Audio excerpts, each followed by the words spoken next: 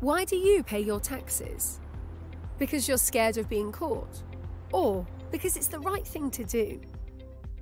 Tax morale can be defined as the intrinsic motivation to pay taxes, the willingness of taxpayers to voluntarily comply with their tax obligations, beyond the fear of punishment or of being fined.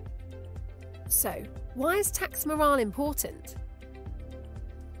Voluntary compliance is at the core of tax systems because it reduces enforcement costs.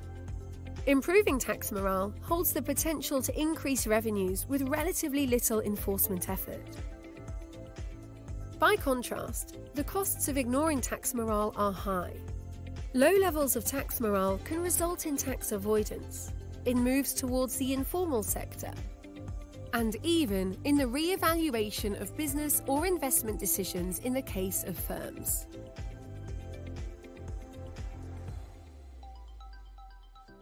So, what drives people and businesses to pay their taxes?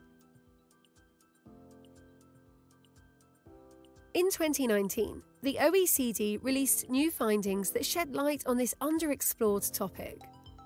At the individual level, research showed that age, education, gender, religion, satisfaction with public services, and trust in government all appear to influence tax morale.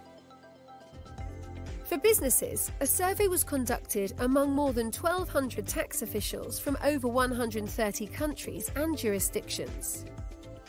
The survey showed the perceptions of business tax behaviour, indicative of tax morale, vary across regions and revealed the following findings. Some routine compliance is good. Officials in all regions perceive that most companies pay on time. But while paying on time is good everywhere, deeper interactions between companies and authorities are more of a challenge. Large regional differences start to appear when we look at officials' views on whether companies respond on time to questions from the authorities.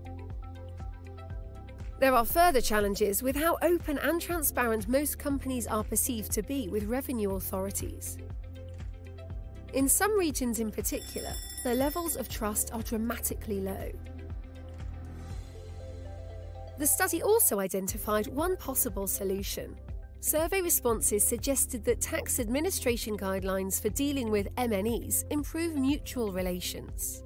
There is a correlation between tax authorities having in place specific guidelines to deal with MNEs and higher levels of trust in the information provided. What comes next?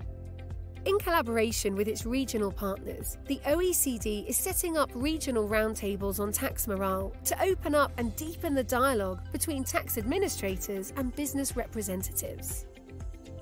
The results of these conversations will serve to strengthen the relationship between business and governments.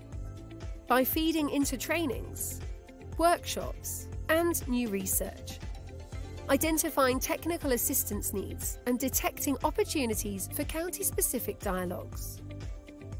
While much remains to be done to build a sustainable taxpaying culture, a greater focus on tax morale can provide a route to increased voluntary compliance for a tax system that is fair and equitable for all taxpayers around the globe.